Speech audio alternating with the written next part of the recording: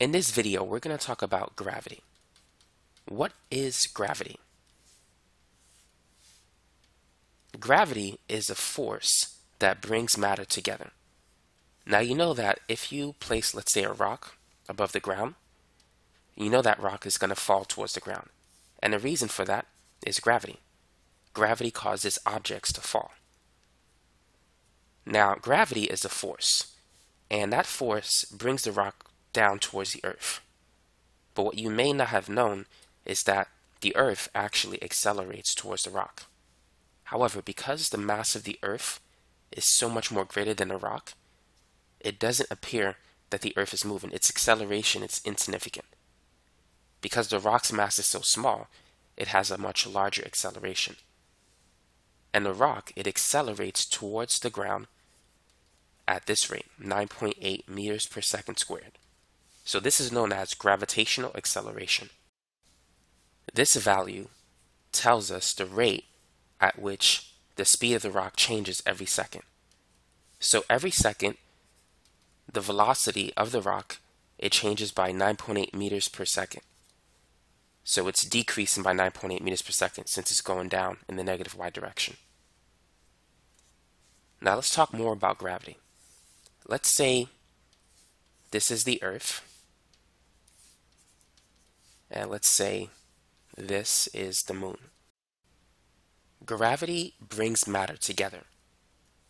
The Earth feels a force that accelerates it towards the moon, and the moon feels an equal but opposite force that pulls it towards the Earth. And so these forces, they have the same magnitude. And to calculate this force, it's equal to the gravitational constant times the mass of the Earth times the mass of the moon divided by the distance between their centers, which is r. So r is the distance between the center of the Earth and the center of the moon. And so using that equation, you can calculate the gravitational force between the Earth and the moon. This equation is known as the universal law of gravitation. So as you can see, the force of gravity is proportional to the masses of the two objects. For instance, let's say if you have a rock and if you have, let's say, a book. The force of gravity between these two objects is not noticeable. The rock is not going to slide towards the book. And the reason for that is because their masses are so small. For gravity to be significant, you need masses on a planetary scale. You need huge masses for it to uh, be important. As you increase the mass of a planet, the gravitational force that it exerts on other planets increases. The second factor is distance. Notice that the distance is on the bottom of the equation. So as you increase the distance between a planet and another planet, the gravitational forces acting on those planets decreases. So the moon has a greater effect on planet Earth compared to Pluto because Pluto is so far away. So gravity plays a role on objects that are nearby. Objects that are far away, gravity weakens greatly. In fact, as you double the distance between two planets, the gravitational force reduces by a factor of 4. If you double one of the masses of the planets, the gravitational force will double. Now it turns out that the gravitational force is the same as the weight force. And let me illustrate that. So let's say this is the Earth. And let's say we have a 20 kilogram block resting on the Earth. Now what is the weight force of that 20 kilogram block? The weight force is simply the mass times the gravitational acceleration. So it's going to be the mass of the block, which is 20 kilograms, times the gravitational acceleration of 9.8 meters per second squared. So 20 times 9.8, that gives us a weight force of 196 newtons. Now let's see if we can get the same answer using the universal law of gravitation formula. So the formula was F is equal to G m1 m2 over r squared. Now G is the universal gravitation constant, which is 6.67 times 10 to the negative 11, and it's newtons times square meters divided by square kilograms. Now the mass of the Earth, that's 5.98 times 10 to the 24 kilograms. The mass of the block, M2, is 20 kilograms. And the distance between the center of the Earth and the surface of the Earth, because the block is on a surface, that's the radius of the Earth, which you can call RE. And you can look up this value in a textbook. It's 6.38 times 10 to the 6 meters, and we need to square it. So go ahead and type these numbers into your scientific device.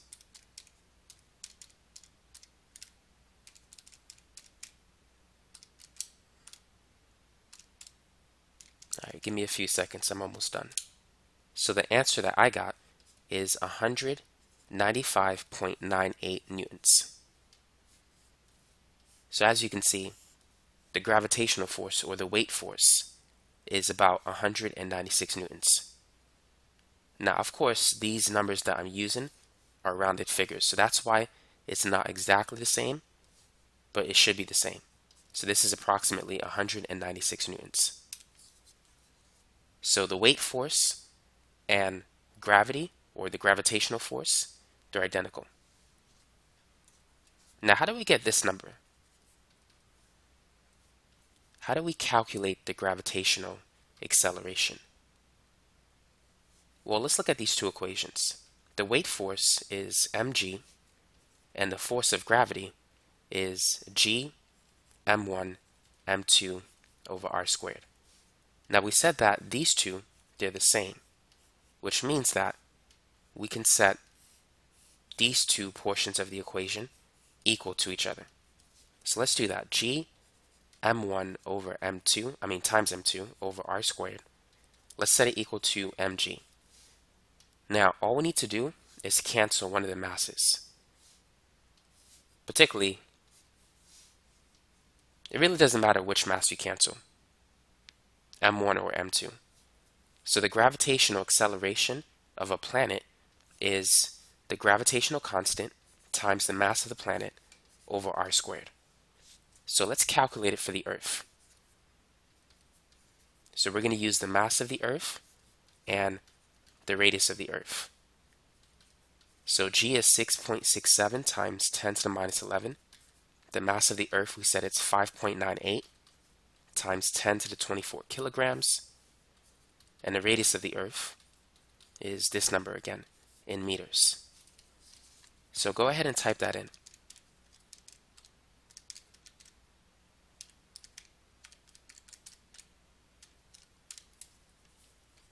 So you should get 9.799 meters per second squared, which you can round out to 9.8 meters per second squared. And so this formula helps us to calculate the gravitational acceleration of any planet. It could be a moon, it could be a planet, it could be a star like the sun. You can use this to calculate the gravitational acceleration of any object. Now that's basically it for this video. That's all I got. So if you like this video, feel free to subscribe to this channel and don't forget to click on that notification bell. In addition, for those of you who want more math problems on gravity and the universal law of gravitation, I have another video that have a lot of problems that you can work on.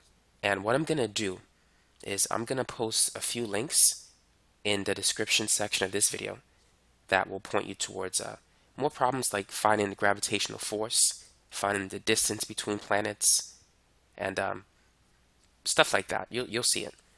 And not only that, I'm going to have some other topics related to gravity, like how to find the speed of a, a satellite in orbit, and uh, some other problems on centripetal force and uh, Kepler's third laws, and just other topics that relates to gravity, space, and planets and things like that. So when you get a chance, feel free to check out those links below. And whatever you do, don't forget to subscribe to this channel. Now, I do have other topics besides physics. I do have a playlist on physics. You can check out my channel if you want more info on that. I have a playlist on chemistry, algebra, trig, geometry, calculus, pre-calculus. So basically, the common topics that you encounter in school. I have a playlist on that uh, stuff if you need help in that. So feel free to take a look at that when you get a chance. Thanks for watching.